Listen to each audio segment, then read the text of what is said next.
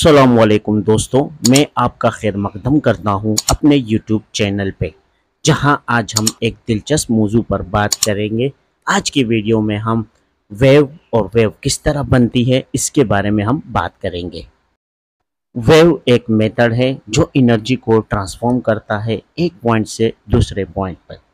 मतलब के जिसमें मैटर ट्रांसफ़र नहीं होता, सिर्फ़ आपकी एनर्जी ट्रांसफ़र होती है। जैसे अगर मैं कोई वेव फॉर्म करूँगा तो मैं एक मैटर हूँ, मैं ट्रांसफ़र नहीं होऊँगा, सिर्फ़ एनर्जी को ट्रांसफ़र करूँगा। अब बात कर लेते हैं कि वेव बनती किस तरह है। तो अगर एक मीडियम को हम डिस्टर्ब करेंगे तो डिस्टर्ब करने से वेव फॉर्म हो जाती है। अब हमारे पास पहली एग्ज़ाम्पल है कि वेव किस तरह प्रोड्यूस हो सकती है एक रोप में। जैसे कि आप तस्वीर में देख सकते हैं कि एक रोप को दीवार के एक एंड से फिक्स कर दिया गया है और दूसरे हैंड से हमने पकड़ लिया है। अब इसमें वेव किस तरह प्रोड्यूस होगी? हमने अपने हैंड को सिर्फ़ अप और डाउन हिलाना है। जो अप और डाउन के मूवमेंट से इसमें क्या प्रोड्यूस होंगी? वेव प्रोड्यूस होंगी। अगर आप देखा गए तो इसमें मैटर ट्रांसफ़र नहीं हो रहा है, बल्कि सिर्फ़ एनर्जी ट्रांसफ़र हो रही है। अप एंड डाउन के मूवमेंट से अब यही बात इस पैराग्राफ में लिखा गया। जैसे मैं अभी पढ़ता हूँ we can produce wave on a rope हम प्रोड्यूस कर सकते हैं वेव किसी भी रोप में बाय अटैचिंग वन एंड उसका एक सिरे को हम बांधेंगे टू अ वॉल एक दीवार से end continuously moving the other end up and down और मुसलसल दूसरे हिस्से को हम ऊपर और नीचे की तरफ़ मूव करते जाएँगे। तो इस तरह वेव आपकी प्रोड्यूस होती है रोप में।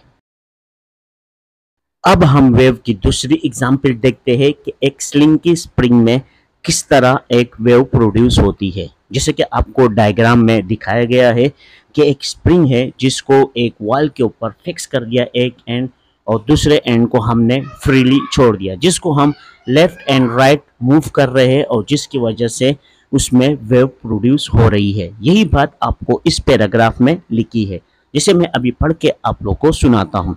A slinky spring is a pre compress helical और क्वाइल स्प्रिंग एक स्लिंग की स्प्रिंग आपको कंप्रेस प्री कंप्रेस हेलिकल या क्वाइल स्प्रिंग होता है मतलब प्री कंप्रेस दबा हुआ होता है। We can perform several experiments with a slinky in the laboratory to understand the phenomena of different type of wave motion यानी हम मुख्तलिफ़ एक्सपेरिमेंट कर सकते हैं इस लिंक स्प्रिंग के साथ लेबोरेटरी में, जिससे हम ये स्टडी कर सकते हैं कि इसमें वेव किस तरह प्रोड्यूस हो सकती है।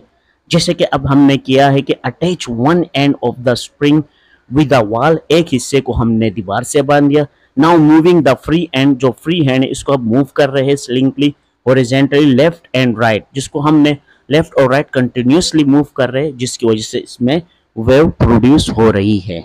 अब इसके लास्ट एग्ज़ाम्पल है कि हम वाटर वेव यानी रिपल टैंक में एक वाटर वेव किस तरह प्रोड्यूस कर सकते हैं।